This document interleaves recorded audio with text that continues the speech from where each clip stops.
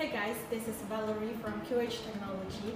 In the previous video, Sean has introduced the 3 kilowatts inverter. And in this video, I will show you the systems of 5 kilowatts inverter and what can they do. So first, let's take a look at our showroom.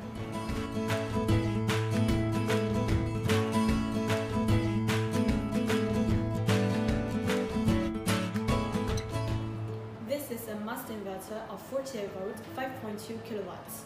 Next to it is a Xindun inverter of 5 kilowatts, linking with a battery of 48 volt, 230 Ah. Here is a 5.5 SMK inverter, which connects with a battery of 250 Ah. And the next one is a 5.5 kilowatt inverter of SAKO. It has linked with a battery of 250 Ah. And the last inverter is a Shuozhi 5 kilowatts inverter. Now let's see what can it do. Our engineer has linked a power strip through the AC output port to each inverter, so all we need to do is to turn on the system and plug in the loads. Now let's try this SAKO inverter and battery system.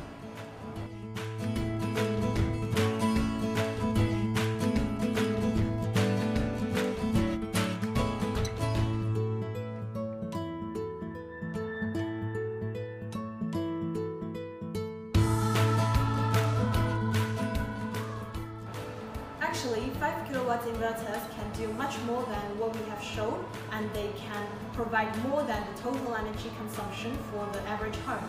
So it is a good choice to reduce your home energy bills. That's all for this video.